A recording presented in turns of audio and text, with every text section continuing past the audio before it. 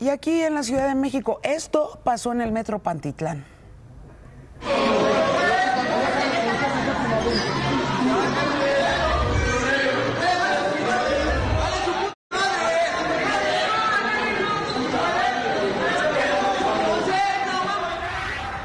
Estos hombres eh, pues se le fueron con todo a los policías. Los sujetos en presunto estado de ebriedad les lanzaron golpes, patadas e insultos, solo porque los uniformados les pidieron abandonar las instalaciones por su estado inconveniente. Incluso uno de ellos sacó un arma punzocortante. Un policía resultó lesionado por estos hechos. Los agresores ya fueron presentados ante el MP, donde se les encontró además una bolsa de marihuana. Imagen Noticias con Yuridia Sierra, lunes a viernes 2 pm.